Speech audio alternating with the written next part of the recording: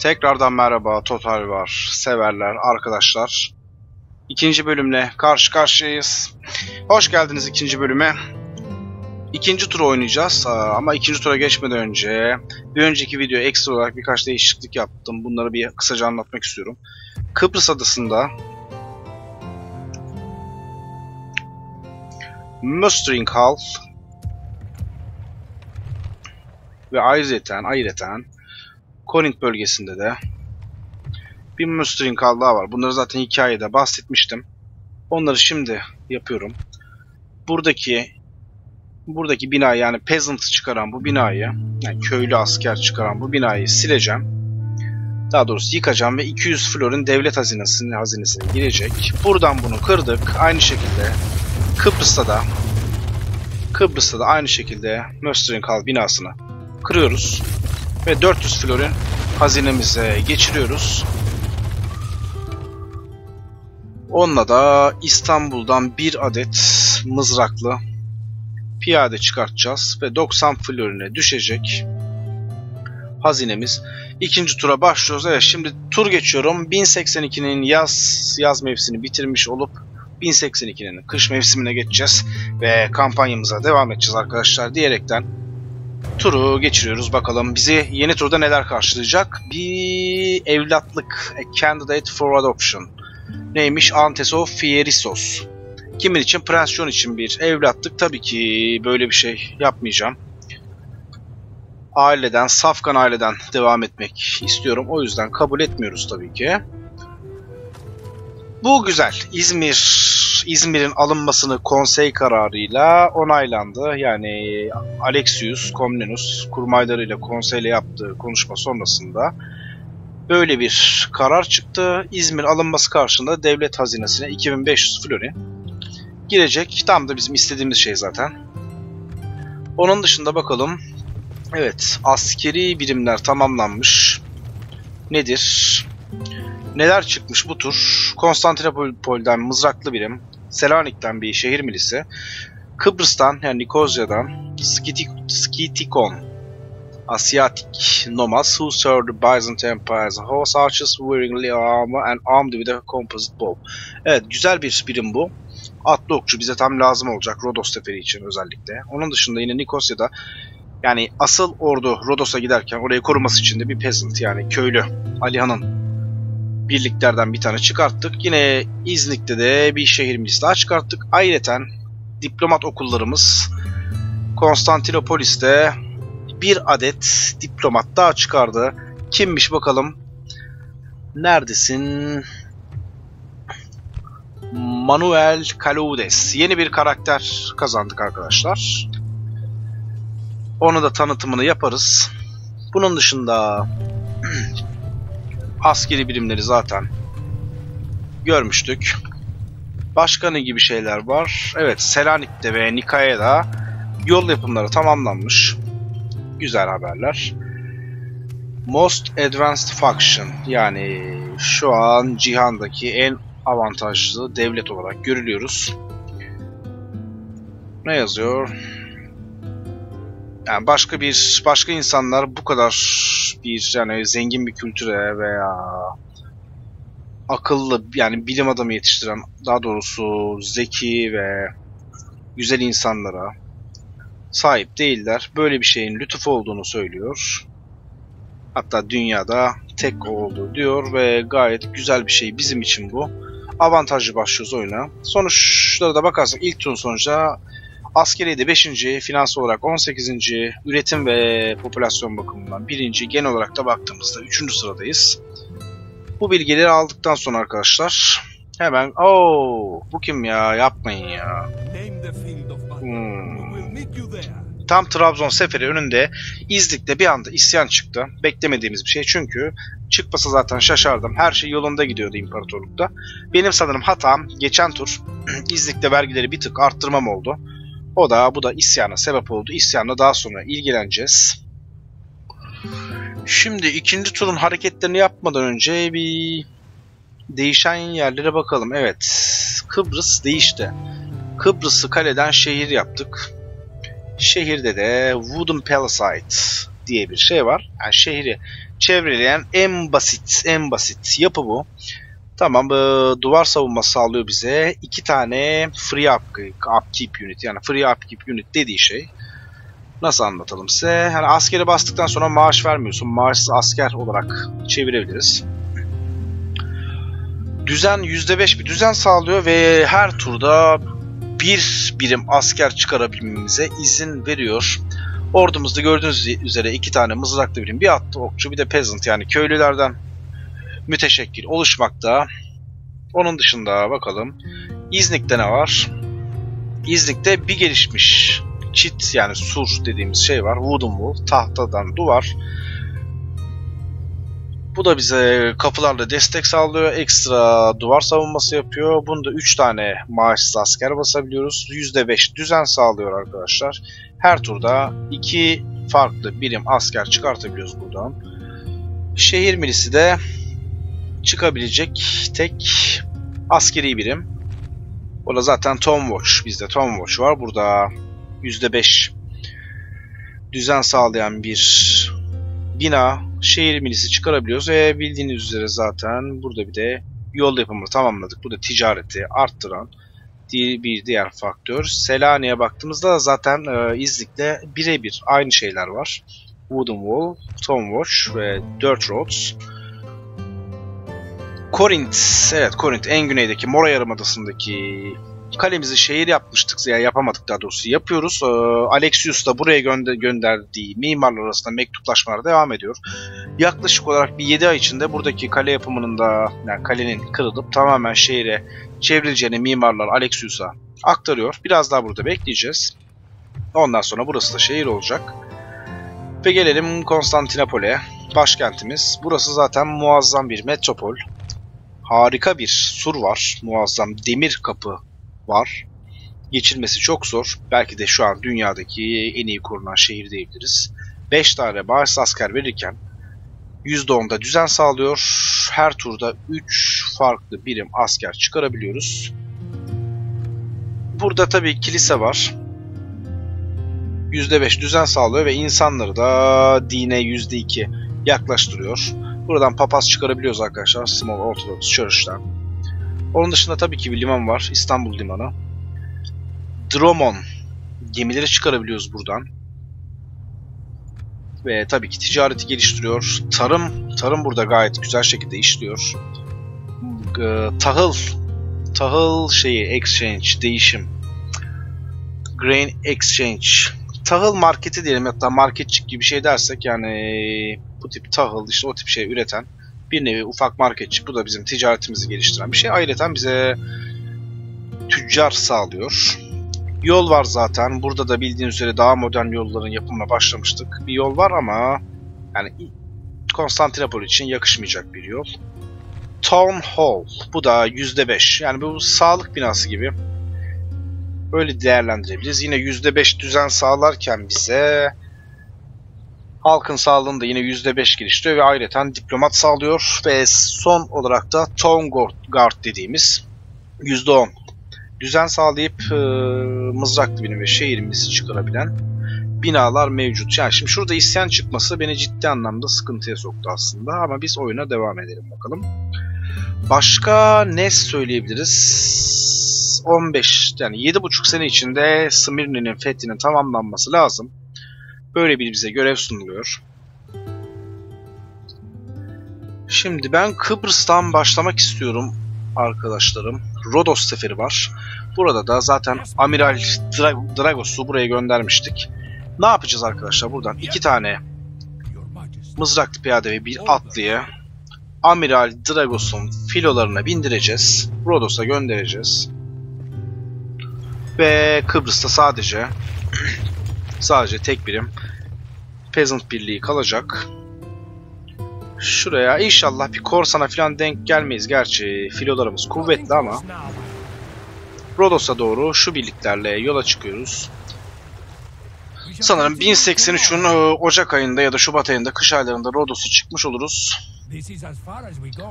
Kıbrıs'ta da tek birim Peasant kaldı. 1942 finans hani bina yapımlarına falan daha sonra bakacağım. Şimdi yapabildiklerimizi yapalım. Gabriel Branas'ı tabii ki Smirne'ye gönderecektik. 150 bir Ortodoks inanç var burada. Bir şöyle gelsin. En azından burada bir Ortodoksluğu geliştirmeye çalışalım.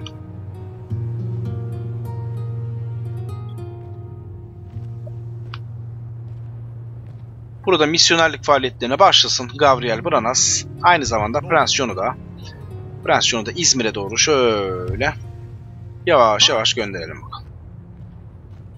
İzmir çok önemli. Hem deniz ticareti sağlayacak hem Türklere karşı Anadolu'da bir şehri daha kazanmış olacağız. Ve evet az çok az çok bilgi sahibi olabilir miyiz Smirne'den? Olamıyoruz. 5 birim askerleri var ama içinde ne olduğu bilinmiyor. İnşallah çok zor askerler çıkmaz. 1083'ün başlangıcında 1083 yılında da Smirne'yi kuşatma altına alırız. İçerideki asker durumuna göre, göre ne yapacağımıza karar vereceğiz. Şu adamın ordusunu çok merak ediyorum. O yüzden bize acil bir e, casus gerekecek. Ama casus şu an yapabileceğimiz hiçbir yer yok. İznik'te İznik'te kerane var aslında. Kerane yapabiliriz. Normalde ben buraya port yapacaktım. Liman yapacaktım ama daha acil bir durumumuz var. Çünkü bir casusa ihtiyacımız var. O yüzden burada bir brothel yani kerane diye tabir ettiğimiz kerane diye tabir ettiğimiz bina yapmak zorundayız. Bir tane de upkeep yani free upkeep maaş as askerimiz de çıktı. Yani şu askerlerle saldırabilirim ama gözüm korkudan şurada bir atlı okçu olması bizi ciddi anlamda zorlayacaktır. O yüzden casus çıkmasını bekleyip Trabzon seferini bir süre askıya alıyorum. Demetrios Kalafatis'in bu buradaki ipek ticareti devam ederken gemilerimizde Fotenus'un filosu filosunu şimdilik İstanbul limanında tutalım. Duruma göre belki daha sonra Trabzon seferini açılabiliriz. Bir diğer nokta tabii ki Draç. Draç'ta zaten birlikler belli. İki birim piyadeleri, bir birim okçuları var. Casusla Draç kasabasına bir haydi giriş yapalım. Tam olarak bilgilerini öğrenelim. Adamların gücüne kadar hani ne kadar tecrübeliler, vuruşları kaç, defansları kaç, nasıl bir yer fethedeceğimiz yer. Evet, Kyriakos Lukites şu an şehre girdi. Hadi oğlum, bütün bilgileri toplamana. Şu an şu an şehir içine girip bir devreyi kıstırdı ve bir tane askeri kendisine çekti şu an. Oo, ya sopayla girdi ya da demir vurdu bir şey yaptı. Askeri kandırarak, evet, askeri kandırarak devreye dahil olacak ve bize bütün bilgileri şu an itibariyle verecek. Bakalım nasıl bir şey var Draş'ta. Güzel. İki tur dayanabilir bu kasaba. Yani iki tur kuşatma altına tutabiliriz. Zaten tahminimce de onu yapacağım. Köylü okçuları var. Misil atakları kuvvetli. Aynı zamanda tecrübeli şehir milisleri var. Gerçekten tecrübeli şehir milisleri var. Kolay bir saldırı olmayabilir. Neyse. Theotokios da buraya dalacağız ama en azından benim bir tane okçuya ihtiyacım var. Balkan okçuları da gayet ucuz. O yüzden bir tane okçu buradan paralı asker olup orduma kattıktan sonra Theotokios'u Draç'a doğru ilerletiyorum. Haydi bakalım. Theotokios Olaskos bizim Avrupa sınırlarımızdan, Balkanlardan sorumlu komutanımız.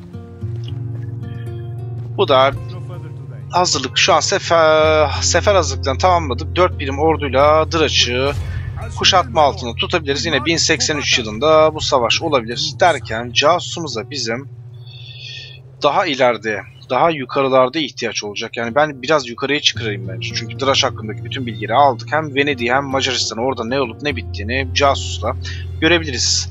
Şöyle ilerlesin casusumuz.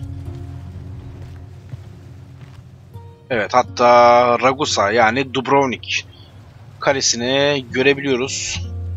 Alessandro Salvo komutasında yönetiliyor. 9 turn yani 4,5 sene enteresan bir şekilde dayanabilir herhangi bir sıkıntıya. Burada kuvvetli askerler var. Bu da benim hoşuma gitmedi aslında. Yani biz buraya burada kaybettiğimiz askerler bize saldırırlarsa durum vahim olacak çünkü Draç kasaba ve hiçbir bina yok gördüğünüz üzere. Nasıl bir şey yapabiliriz? En mantıklısı şu Korint'teki birliklerden Korint'teki bir piyadeyi göndersek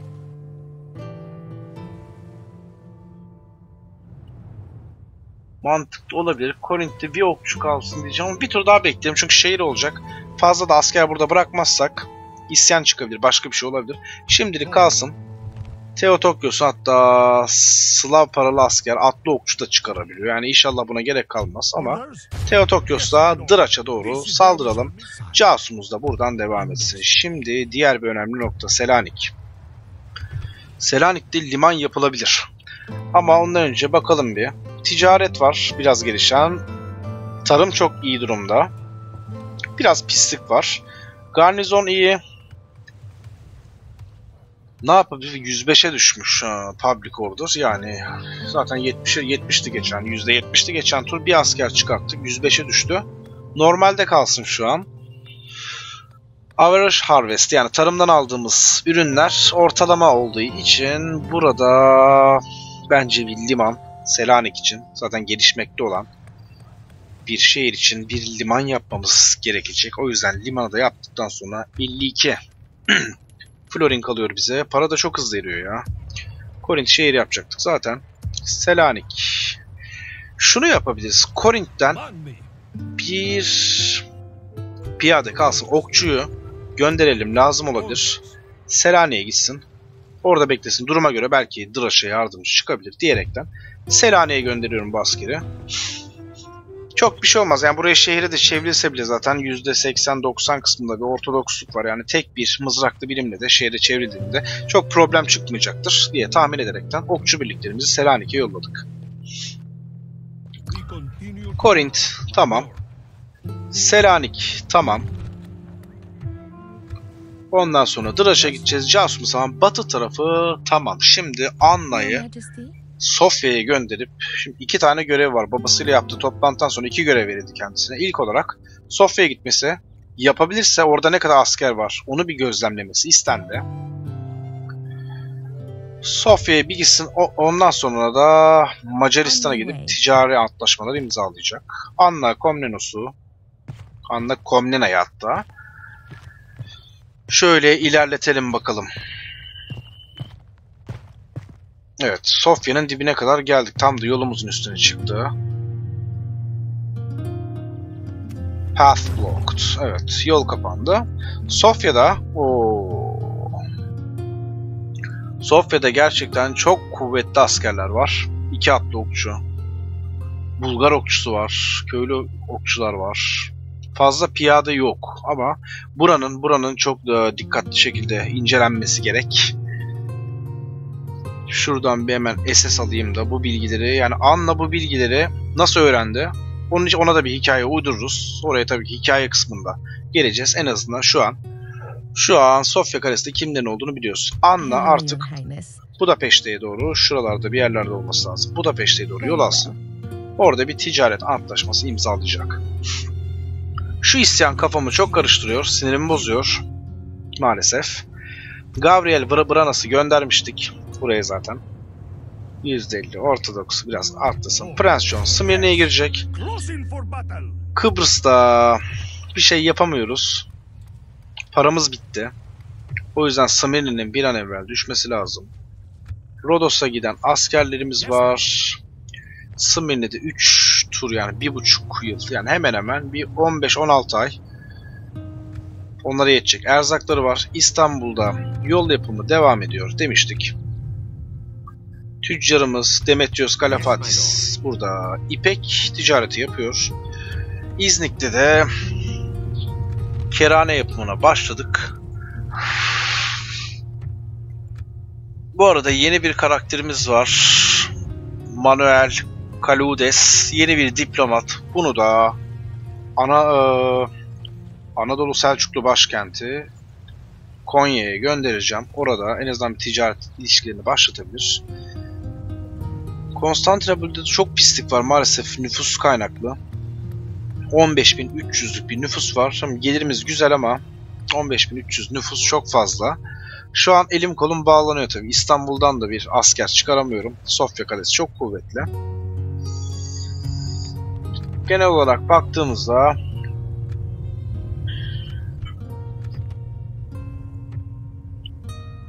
Yine 4 şehrim, 4 yerleşkemizde işlemler yapılırken Kıbrıs'a bir şey maalesef parasızlıktan dolayı yapamıyoruz. Agentlarımız işlerini devam ettiriyor arkadaşlar. Sanırım ikinci turda bu kadar olacak. Başka ne yapabiliriz? 52 florinle zaten herhangi bir şey yapamayız. Ve aa, iyi de iyi de bir para gelmiyor bize. Yani 1700 florinlik bir öbür tur gelirimiz olacak. O yüzden arkadaşlar yani Draç ve Smirne'nin bir şekilde düşmesi lazım. Trabzon'u da nasıl düşürürüz bilmiyorum.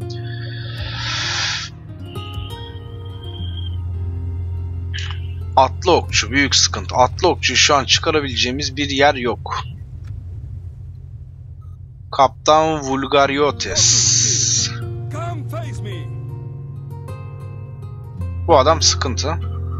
Neyse biz diplomatımızı Konya'ya doğru şuraya doğru bir gönderelim. Doğuda da bir ticaret antlaşmasını başlatalım.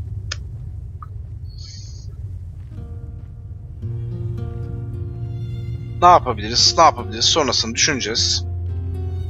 Today's journey ends. My lord. God's servant. Yes, my lord.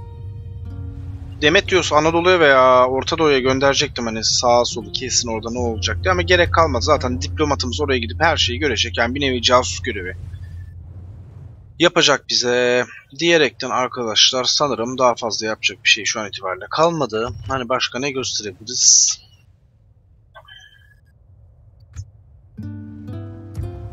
Şehirlerin ufak tanıtımlarını yapmıştık.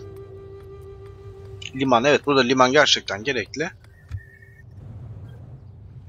Şimdi hani bu iki tur, ikinci turla ilgili bir ufak bir video daha çekebilirim. Onu da tabii şu, şu an karar veremiyorum. Sofya Sofya seferi için ne yapabiliriz veya burada çıkan isyan için Nikaia'nın yanında çıkan isyan için ne yapabiliriz? Onu bir kararlaştırmam lazım.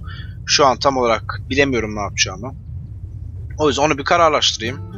Ondan sonra sanırım belki ufak bir bilgilendirme videosu olabilir ya da hikayeler paylaştıktan, bu video paylaştıktan sonra 3. tura geçmeden onu da planlayıp devam ettirebilirim arkadaşlar.